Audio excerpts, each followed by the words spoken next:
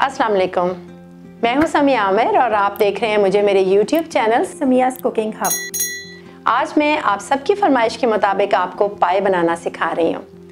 आपने देखा होगा कि किसी भी दावत में अगर बहुत ही मज़े के पाए सर्व किए जाएँ तो मेहमान तमाम डिशेस को छोड़कर सिर्फ़ और सिर्फ़ पाए ही शौक से खाते हैं। पाए बनाने में सबसे इंपॉर्टेंट प्याज की रेशो है, जिसकी वजह से पाए या तो बहुत ही मज़े के बनते हैं या फिर बिल्कुल ही ख़राब हो जाते हैं। तो चलिए, आज मैं आपको बताती हूँ कि मज़ेदार से पाए कैसे तैयार किए जाते हैं।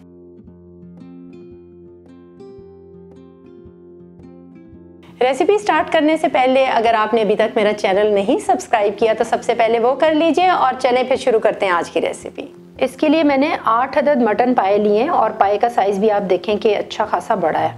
ये आपको गोश्त वाला इस तरह से तोड़ के तो फिर देगा। आप इसे प्रेशर कुकर में भी बना सकते हैं, लेकिन मैं स्लो कुक करूँगी, इससे पाए बहुत ही मज़े के बनते हैं। लेकिन अगर कभी मुझे बहुत जल्दी हो तो मैं प्रेशर कुकर में भी बनाती हूँ तो बहुत ही मज़ेदार पाए तैयार होते हैं। तीन कप पानी डाल रही हूँ मैं।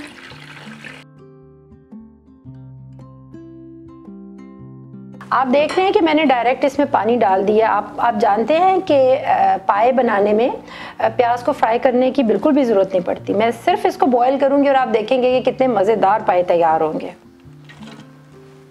इसके लिए मैंने पौने दो कप प्याज लिया है, यानी एक कप पूरा भर के और दूसरा कप थोड़ा सा कम डाला है। दो अदद बड़ी इलायची और तकरीबन छः सात लौंग। टू टेबलस्पून गार्लिक पेस्ट, एक टेबलस्पून अदरक की पेस्ट, एक चाय की चम्मच सफ़ेद ज़ीरा, ज़रा भर के मैंने डाला है। नमक, एक चाय की चम्मच और उसके बाद मैं थोड़ा सा इसके बाद एक्स्ट्रा डाल रही हूँ।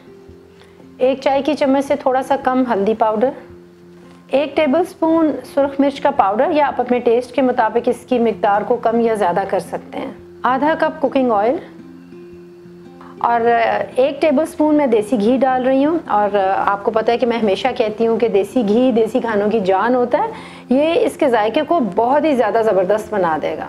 पानी को बॉयल आ गया और इस स्टेज पे मैं इसके फ्लेम को थोड़ा सा कम कर दूँगी और इसको लिड से कवर कर दूँगी और तकरीबन दो से तीन घंटे के लिए हल्की आँच पे पकने के लिए रख दूँगी।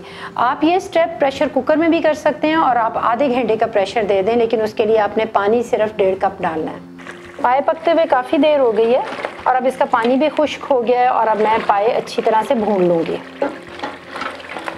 इस स्टेज पर आपने कम से कम तीन से चार मिनट के लिए बहुत अच्छी तरह से पायों को भूनना है। ये स्टेप बहुत ही इंपॉर्टेंट है क्योंकि इससे पायों में बहुत अच्छी सी खुशबू आएगी और इनका कच्चापन दूर हो जाएगा और इसका मसाला भी बहुत अच्छी तरह से मैश हो जाएगा। पायों को मैंने बहुत अच्छी तरह से भून लिया है और आप देखें कि इसका ऑयल मुकम्मल तौर पर बाहर आ चुका है। इस स्टेज पर मैं इसमें पाँच से छः गिलास उबलता हुआ पानी डाल दूँगी।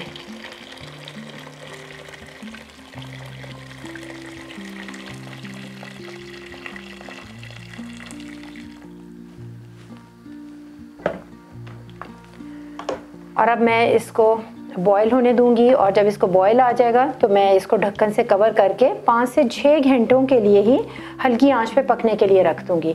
अगर आप इसको प्रेशर कुकर में पकाना चाहें तो आपने इतना ही पानी डालना है और इसको एक घंटे के लिए प्रेशर दे देना है।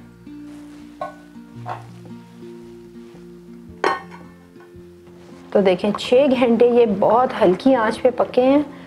अब आप देखें कि पाए इस हद तक गल चुके हैं। कि अगर मैं इनको ज़रा सा दबाती हूँ तो ये हड्डी से अलग हो रहे हैं। कुछ लोग पाए साबत पसंद करते हैं कि वो पूरा पाया अपनी शेप में रहना चाहिए, लेकिन हमारी फैमिली में पाए बहुत ज़्यादा गलाए जाते हैं कि उनकी हड्डियाँ अलग हो जाएँ बिल्कुल। तो आपकी फैमिली में जिस तरह से पसंद किया जाता है, आप उस तरह से पाए तैयार कर लें। पानी मुझे लग रहा है कि थोड़ा ज़्यादा खुश्क हो गया तो मुझे थोड़ा सा पानी मैंने इसमें और डाल दिया और अब मैं इनको बॉईल देकर पाँच से दस मिनट के लिए सिर्फ़ पकाऊँगी और आग बंद कर दूँगी।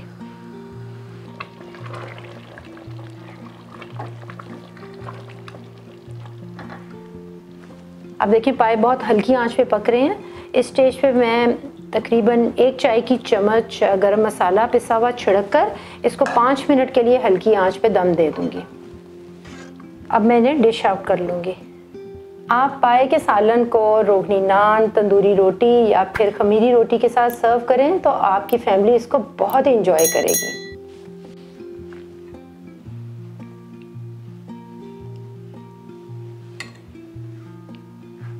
तो देखा आपने कि देखने में इतनी मुश्किल नज़र आने वाली रेसिपी कितनी आसानी से तैयार हो गई है।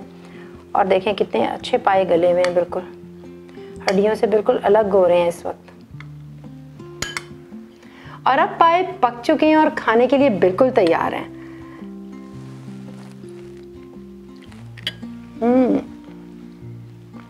बहुत मज़े के।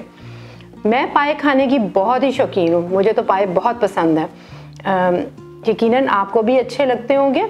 अब आप किचन में जाएँ और पाए बनाएँ और अपनी फैमिली को सर्व करें और खूब मज़े लें। फिर मिलते हैं किसी बहुत अच्छी सी नई रेसिपी के साथ। अल्लाह हाफिज़।